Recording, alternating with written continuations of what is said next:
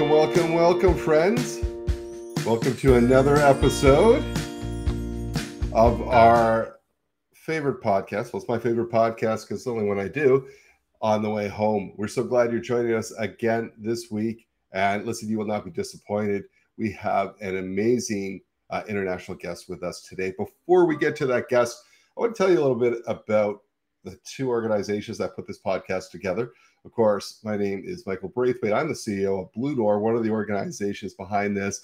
Blue Door does great grassroots work up in the region of York, uh, the region of Durham, and Peel, really kind of the upper uh, Greater Toronto area above Toronto. And we do that in the areas of housing, health, and homelessness and employment. We have a construction social enterprise that really prevents homelessness by giving people well paying and meaningful jobs. We connect them. We work with our healthcare partners to connect them to healthcare. Because hey, listen, if uh, people don't have healthcare, they may not uh, keep housing that we fight so hard to get them uh, over time.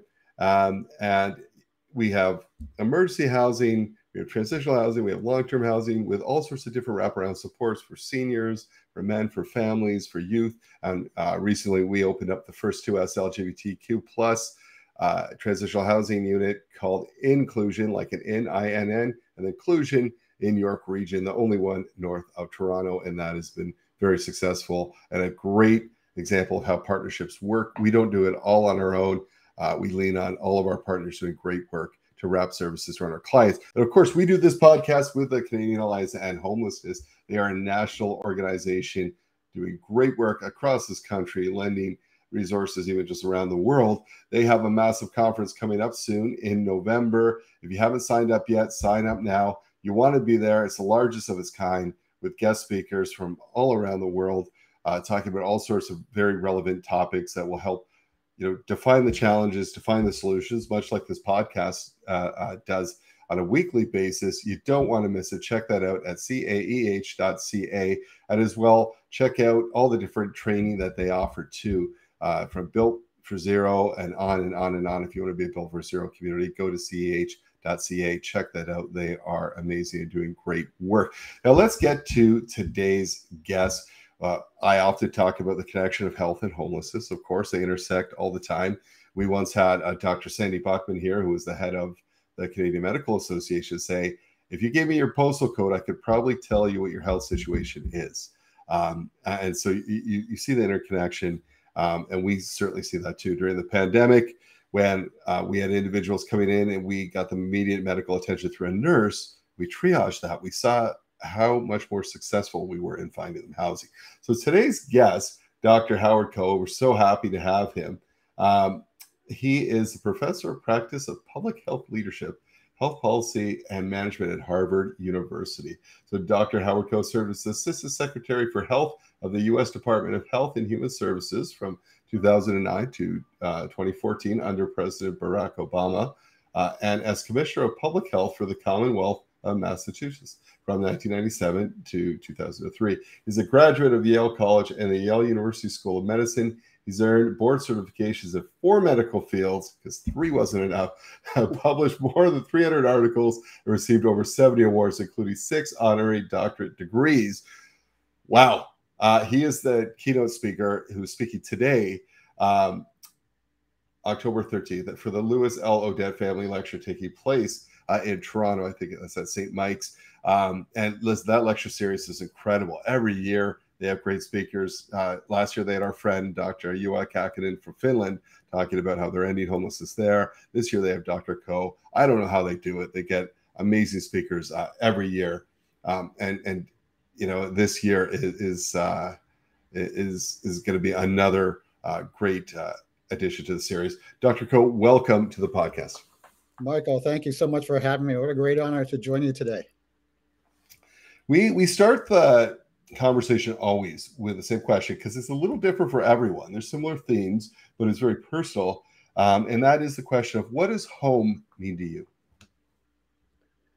Home means a place uh, that we all need and treasure where you feel secure, where you feel comforted and loved. It's a place that you can always go to in a time of need and stress And Michael, the fact that we have so many thousands in uh, Canada and the US around the world who don't have a regular home is just unacceptable. And it's an increasingly visible humanitarian crisis. So to be able to join you today and talk about this is a great honor. I also want to start by thanking St. Michael's Foundation, St. Michael's Hospital, and the Odette family for inviting me here today. I've already forged some great partnerships with my colleagues here in Toronto and Canada. So I'm looking forward to more collaborations in the future. Fantastic. And let me tell you, Lou Odette uh, is a friend of the podcast for the Odette family. He's an incredible uh, individual. Uh, so glad that you're a part of that.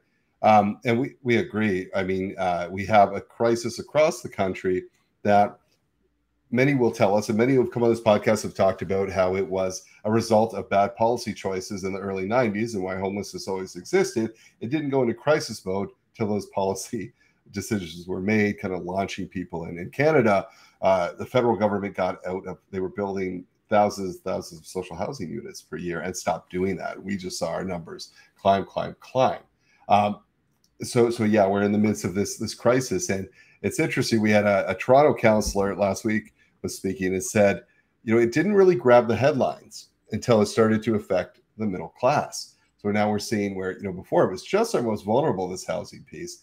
Now we're seeing the middle class. As you said, you know, it, it's been a crisis for years, but because now it's affecting the middle class, we're, we're seeing it grab the headlines. And in our municipal elections that are happening in Toronto and other municipalities uh, throughout Ontario, uh, it definitely is uh, a bone of contention for for all candidates. Um, so so you're doing the lecture uh, with I, I, can't believe your your wealth of experience. Um, you you could be doing so many different things, Dr. Koh. Uh, what has driven you to focus on the work that you're doing and we'll be speaking on uh, today? Well, aren't you nice to ask me? And of course, it always starts with the question, why, right? So, uh, in my career as a physician and public health professional, I've had the privilege of attacking and addressing many public health crises that uh, face our society. You know, I trained in medicine and cancer. I got involved uh, in tobacco control, still a major passion and interest for me. And then I got to see how substance use in general affects people's lives. And then when you have the privilege of being a state health commissioner like I have through 9 11 and anthrax, by the way, and then being uh, a U.S. Assistant Secretary for Health through the Affordable Care Act and the last pandemic, H1N1, by the way, uh, you, you, get to think about what is health and how do we help all people reach uh, their so-called highest attainable standard of health. But through it all, Michael, I just saw too many people not coming anywhere close to living uh, their full potential for health, and people who are homeless, uh, unfortunately, rank at the top of that list I'll never forget um, when I was the state health commissioner now 20 years ago. There was one terrible January. It was a very harsh winter, and a dozen people who were homeless froze to death on the streets of Boston. I, I will never forget that. And the advocates were livid, appropriately so. The, the press was all over it. And uh, the stakeholders and the advocates all came to state government and said, who, who is in charge for making sure that people don't freeze to death during this winter. And I was the state health commissioner at the time. I looked above me in government, and uh, you know this was not a priority for uh, the people above me in government. I mean, there were many other things to take care of, you know, um, to their defense. So I, I said, okay, I'm going to form a statewide task force, and we're going to bring people together with a single goal of preventing people from freezing to death over the next couple of months. So that task force went on for a number of years. You know, I'm not sure we made dramatic progress in solving the homelessness crisis, but at least I think we improved coordination, data sharing, trust building, capacity building, and I think we prevented more people from dying back then. You know, one of the challenges, Michael, which I started thinking about back then was there, there was so little research, so little reliable data. And ordinarily, you turn to academia to help you out and do research and get us to better policy. But the in academia, this is an area that is generally not studied well uh, by uh, professors because funding is not there. And uh, so no support systems are there for junior faculty who want to start in. And then, Michael, maybe I should just say, since it's all personal, my daughter, Dr. Katie Koh, is a psychiatrist and she's a street psychiatrist for the homeless in Boston. So I'm very proud of her and proud to work with her on these issues now. But looking at the world from her eyes, I said, okay, we, we got to do more here to tackle the problem and make sure that academia is training future leaders and educating our students and inspiring research. So we started our initiative at the Harvard Chan School of Public Health several years ago, uh, still a pilot initiative. And I guess that caught the attention of the Odette family. So here I am. So that's my story briefly. Uh, I did want to mention you have a great homelessness leader here, Dr. Steve Hwang, uh, who I think was also responsible for my invitation. So I want to acknowledge him as well. Yeah, so we're very fortunate to have uh, Steve doing the work he's doing. So interesting. You mentioned your daughter as well. I think I hear there another podcast guest in the future. Would love to uh, to pick her brain from from that end of things. And we are glad you're here. Now you mentioned, and we've I mentioned as well. We keep referring to a housing crisis, right? What defines it as a crisis, and and why do you think it's so often ignored? Well, when you stop and think about it, we, we all wrestle with housing issues, and especially in this time of rising inflation, rising housing costs, and rising rents. Uh, these stresses affect literally everybody. But if you're impoverished, extremely low income, and you're looking for affordable housing in particular, the mismatch between supply and demand is particularly stark and then uh, all you need is a little bad luck, you know, uh, loss of uh, income, loss of a job, uh, loss of a loved one through uh, death or divorce, perhaps, uh, a catastrophic illness or diagnosis and then a very particularly the loss of your emotional well-being through mental illness and substance use and then all those forces can converge and cause the homelessness crisis that we're seeing not only in canada not only in the us but so many places around the world. So the discussion often starts with the disconnect between supply and demand in affordable housing but it goes much much deeper than that as you alluded to in your very nice uh, introductory comments michael Absolutely. Um, now you mentioned this before. So, so when I first started in this field about 12 years ago, I, the number one question I would always get from the region when we said, "Hey, we need funds, we need to tackle this," they would say, "Well, how many? How many people? How many people? So, where's the data?" And the data simply wasn't there. And I have to tell you a, a quick funny story. So I'm like, all right, so they need data. So I looked at what we were saying in Canada at that time was the number of people experiencing homelessness. I took the population of York Region. Uh, I, I, just what they called Mike Michael Math, and I broke it down how many youth or whatever. We came up with a number, and like, and we would use an estimated 300, and that was dangerous because people started quoting that number as a fact. Right, that wasn't research. That was four minutes of math based on estimates. But we needed something. But people needed something to hold on to. So when you mentioned that too, when you said uh, academia before, that sometimes it's just underfunded uh, what role does academia, in your mind, play in preventing and ending this homelessness crisis? Um, and, and uh, what has to change so that role can be played fully? So you great you you cite a great example, Michael. Let, us just start with a very basic question: How many people are homeless in Toronto or in Canada or in the U.S.? How many people are dying? And are the trends going up or down and what interventions work or don't work. Michael, right now, we can't confidently answer any of those questions because let's start, we, we don't even really precisely know how many people are homeless. Well, let's just start with how we generate those numbers. I mean, you, you tried valiantly, it sounds like, but the best method we have to date, which is really not acceptable, is we have a so called point in time count, both in Canada and the US.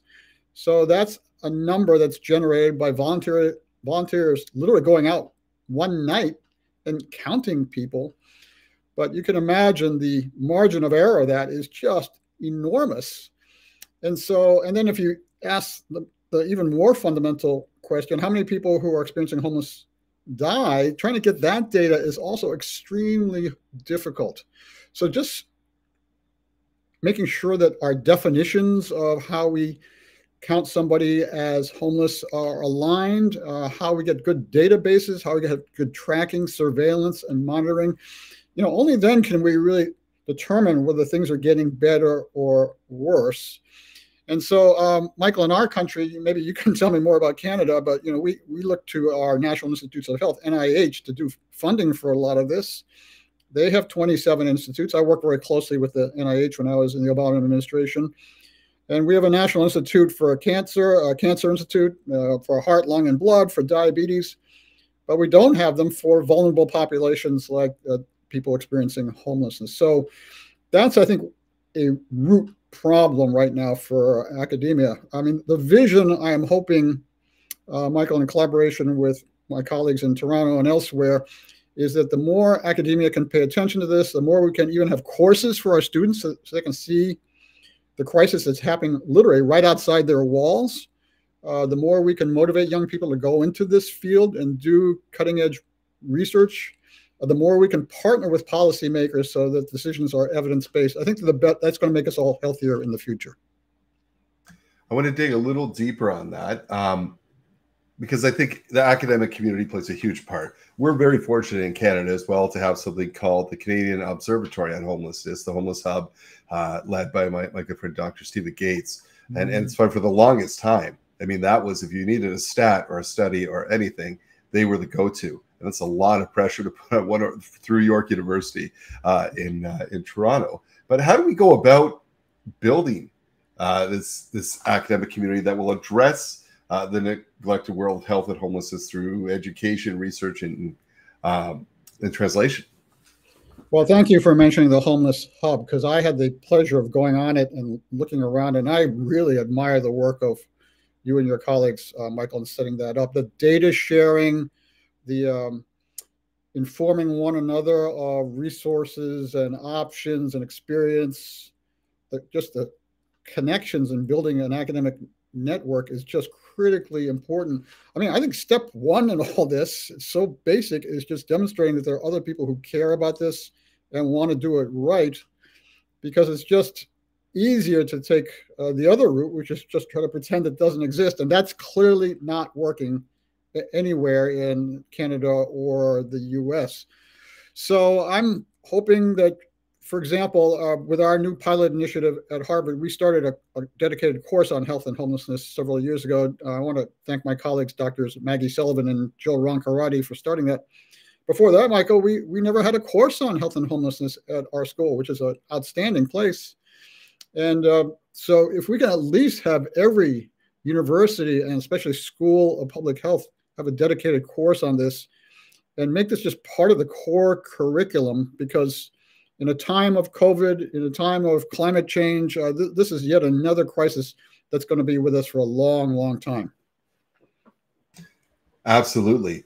Um, and, and, you know, it, it, sometimes I have to be honest, sometimes it, uh, it, it can be quite overwhelming, especially as of late. Every time we, we take a look at the news, there's some inflation, climbing housing prices, all these things you mentioned as well right? Where we're like, and, and I remember we had uh, Dr. Nick Falvo come on, who's a Canadian researcher, and, and, it was probably a year and a half into the um, into uh, COVID. He said, you know, he said we won't see the worst impacts of the pandemic on our most vulnerable until three years after, because he said so many people are still trying to work on the resources they have. It won't be till then that they're they've exhausted those, and we'll really see the hardest impact uh, so we're, we're kind of a, a, year or so out of it, and, and he what he was saying is is definitely coming true.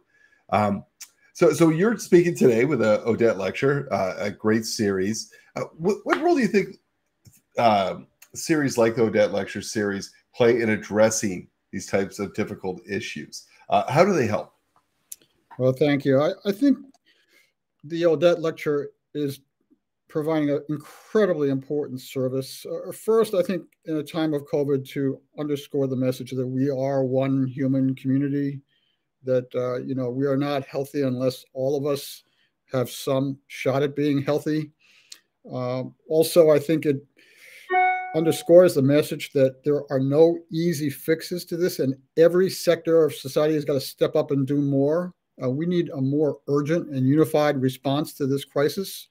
Now, lots of people have tried, you know, in the housing world and in the health world and in the economics world, uh, in the mental health services world, uh, but we now have to do even more to be unified and working with each other. So I'm a public health professor, and in my view, the, the public health perspective is particularly important because we're used to interdisciplinary challenges. I mean, every sector, whether you're in housing or in education or you're a faith-based leader or you're a healthcare provider, you got to step up, do more, and build even stronger non-traditional partners here. So I think all those groups, and I can say philanthropy has a huge role while we try to push government to fund this uh, more seriously. I mean, every sector can contribute to this.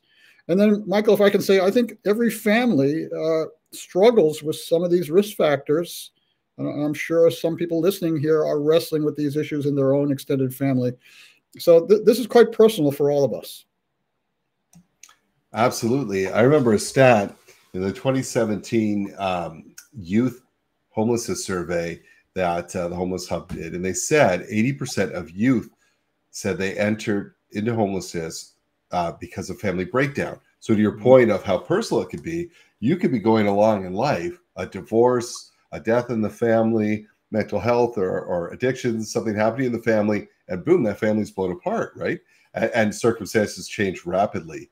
Uh, so, so yeah, absolutely. I think it, it affects us all. Uh, some, of course, more than others, but that family breakdown piece. Uh, quite often, we get asked. Uh, I think people assume there's a big assumption that all homelessness is around addiction and mental health, and while that plays a large part, we can't neglect the family breakdown piece of how people uh, find their path into homelessness. Now, we quite often hear, of course, in your world too, uh, the need for evidence-based kind of our evidence-based work, our evidence-based interventions. Can you talk about the need for evidence-based interventions uh, to end this homelessness crisis uh, within the context of, of, the pandemic?